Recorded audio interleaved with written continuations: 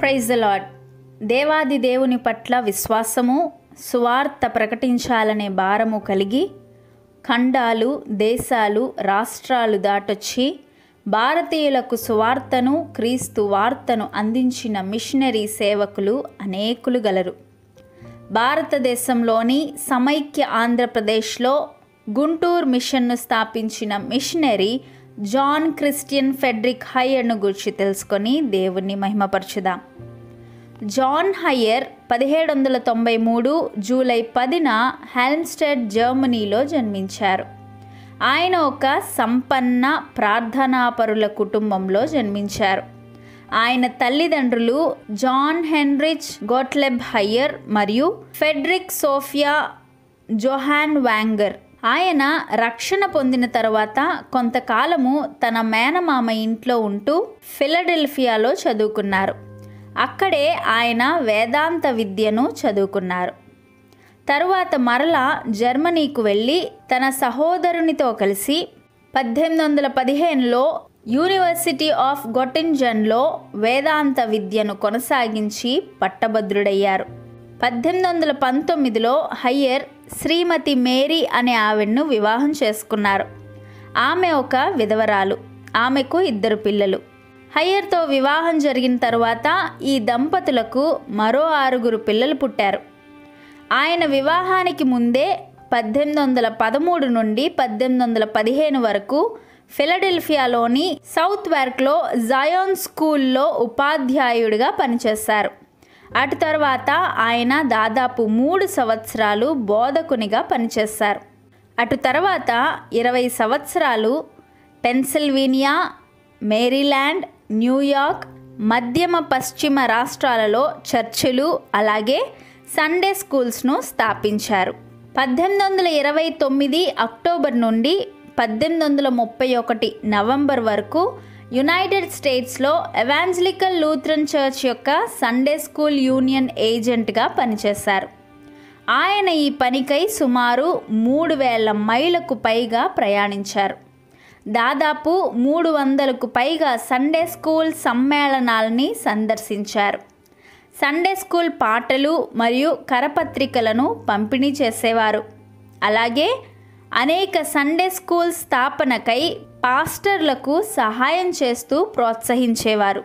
Frederick higher పద్దెనిమిది వందల ముప్పై ఏడులో స్థాపింపబడిన పిట్స్బర్గ్లోని మొదటి ఎవాంజలికల్ లూథరన్ చర్చ్కు మొదటి పాస్టర్ అయ్యారు.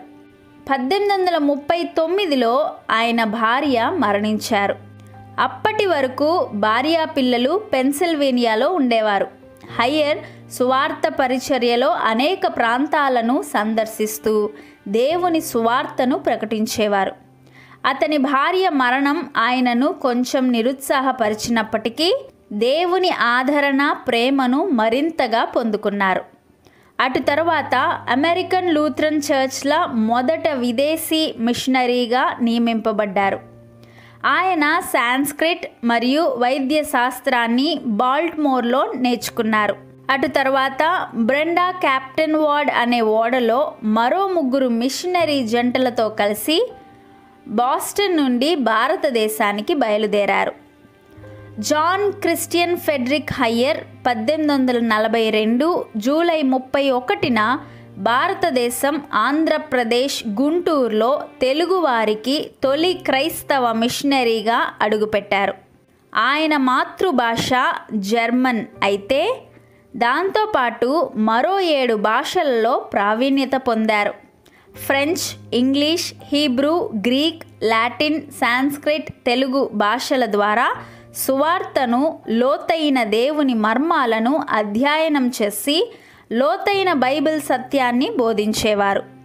అక్కడి ప్రజలందరూ దేవుని లేఖనాలను బాగుగా అర్థం చేసుకోగలగాలంటే బైబిల్ చదవడం చాలా అవసరమని ఎరిగి స్థానికులు విద్య లేనివారు గనుక వారిని విద్యావంతులుగా చేయుటకు పూనుకొనెను.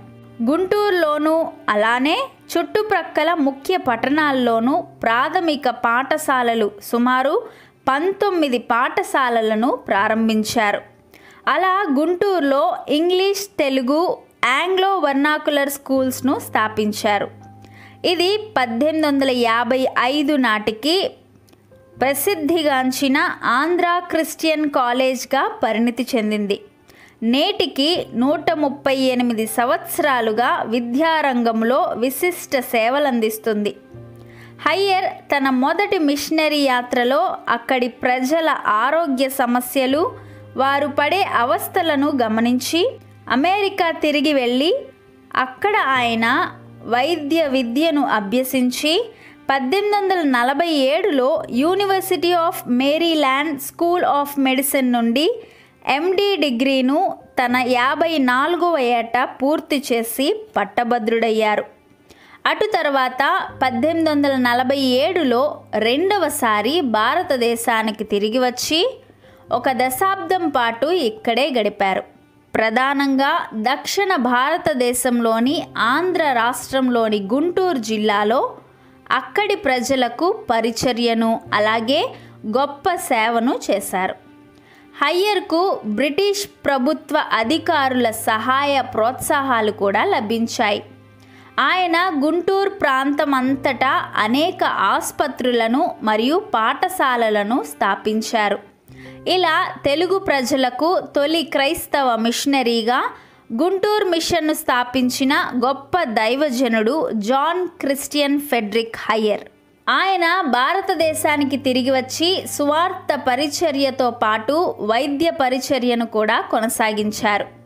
కొన్నేళ్ళ తర్వాత భారతదేశానికి మెడికల్ మిషనరీగా వచ్చిన డాక్టర్ అన్నా సారా కుగ్లర్ గారికి వైద్య పరిచర్యను అప్పగించారు. ఆమె పద్దెనిమిది వందల ఎనభై ఐదులో గుంటూరులో స్థాపించిన వైద్య ఆరోగ్య సంస్థ కుగ్లర్ హాస్పిటల్. అంతటి ఘనమైన సువార్త సేవను జరిగించిన ఫెడ్రిక్ హయ్యర్ను అక్కడి వారు ఆప్యాయంగా ఫాదర్ హయ్యర్గా పిలుచుకునేవారు. ఆయన తొలిసారి అడుగుపెట్టిన రోజును ఆంధ్ర క్రైస్తవ లూథరన్ సంఘం ఆంధ్ర ఇవాంజలికల్ లూథరన్ చర్చ్ యొక్క జన్మదినంగా సువార్త దినంగా జరుపుకుంటారు. గుంటూరులోని పాత బస్టాండ్ ఎదురుగా ఉన్న ఫాదర్ హయ్యర్ మెమోరియల్ దేవాలయంలో ఒకప్పుడు పెంకిటింట్లో మిషనరీ హయ్యర్ నివాసం ఉండేవారు. ఆయన వరండాలో కూర్చొని వస్తూ పోతుండే వారికి దేవుని సువార్తను ప్రకటిస్తూ ఉండేవారు. అదే స్థలంలో దేవాలయం కట్టబడింది. ఆయన గుర్తుగా ఆ ప్రక్కన జ్ఞాపక చిహ్నం కనబడుతుంది. అనారోగ్య కారణాల దృష్ట్యా ఆయన యునైటెడ్ స్టేట్స్కు తిరిగి వెళ్ళవలసి వచ్చింది. అయితే అక్కడ కూడా ఆయన సువార్త పరిచర్యను కొనసాగించారు. పద్దెనిమిది వందల అరవై తొమ్మిదిలో డెబ్బై ఏడేండ్ల వయసులో మరల ఆయన రాజమండ్రి మిషన్ను పునర్వ్యవస్థీకరించడానికి భారతదేశానికి మూడవసారి తిరిగి రావడం జరిగింది. రాజమండ్రి మిషన్లో కూడా ఆయన సేవ స్ఫూర్తిదాయకం. అనేక మందికి బోధిస్తూ ఎంతోమందిని రక్షణలోనికి నడిపించిన దైవజనుడు ఫెడ్రిక్ హయ్యర్. విద్యను వైద్యమును సువార్తను అందించారు. అక్కడ విద్యార్థులు అధ్యాపకులచే ఆయన చాలా గౌరవించబడ్డారు ప్రేమించబడ్డారు. పద్దెనిమిది వందల నలభై రెండులో హయ్యర్ స్థాపించిన గుంటూరు మిషన్ మరియు పద్దెనిమిది వందల నలభై ఐదులో స్థాపింపబడిన రాజమండ్రి మిషన్ కలిసి ఆంధ్ర ఎవాంజలికల్ లూథరన్ చర్చ్గా ఏఈఎల్సీగా ఫలప్రదంగా ఎదిగింది. రెండు వేల తొమ్మిదవ సంవత్సరం నాటికి ఏఈఎల్సి భారతదేశంలోని అతిపెద్ద లూథరన్ చర్చ్లలో ఒకటిగా ఆసియాలో మూడవ అతిపెద్ద లూథరన్ చర్చ్గా మారింది. సుమారు ఐదు వేల మంది ప్యారిష్లలో రెండు పాయింట్ ఐదు మిలియన్ల విశ్వాసులకు పైగా కలిగి ఉంది.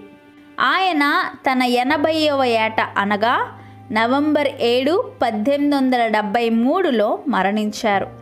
ఆయన మృతదేహాన్ని పెన్సిల్వేనియా లూథరన్ చర్చ్ శ్మశాన వాటికలో ఆయన భార్య పక్కన ఖననం చేశారు. అటు యునైటెడ్ స్టేట్స్లోనూ ఇటు భారతదేశంలోనూ సువార్తను ప్రకటించి భారతీయులకు విద్య వైద్యమును కూడా అందించి విద్యను వైద్యమును కూడా అందించిన గొప్ప దైవజనుడు జాన్ క్రిస్టియన్ ఫెడ్రిక్ హయ్యర్. నీతిమంతుని జ్ఞాపకం చేసుకొనుట ఆశీర్వాదకరమగును. మొదటి తెశలోనిక ఐదు పన్నెండు పదమూడు వచనాల్లో ఇలాగ వ్రాయబడి ఉన్నది. సహోదరులారా మీలో ప్రయాసపడుచు ప్రభునందు మీకు పైవారై ఉండి మీకు బుద్ధి చెప్పు వారిని మన్నన చేసి వారి పనిని బట్టి వారిని ప్రేమతో మిక్కిలి ఘనముగా ఎంచవలెనని వేడుకొనుచున్నాము అని వ్రాయబడి ఉన్నది. ఒకప్పటి భారతదేశం సువార్త వెలుగును చూడలేని పరిస్థితుల్లో దేవుడు హయ్యర్ను వాడుకొని ముఖ్యంగా దక్షిణ భారతీయులకు సువార్త సేవను అందించుటకు నిలవబెట్టెను. అయితే వారి భారము కొలది సువార్తతో పాటు విద్యను వైద్యంను కూడా అందించారు. ఇలాంటి క్రైస్తవ ఆణిముత్యాలు ఎందరో మన భారతీయులను తీర్చిదిద్దారు. నేటికి వారి పేర్లు మాసిపోలేదు. వారి కృషి అగ్రస్థానంలో నిలిచి ఉంది. ఇటువంటి దైవ సేవకులు ఎందరో మన భారతదేశంలో కూడా లేపబడాలని మనం ప్రార్థిద్దాం. అలాగే వారి శ్రమను కృషిని గుర్తిద్దాం. దేవుని నామమును గనపరుచుదాం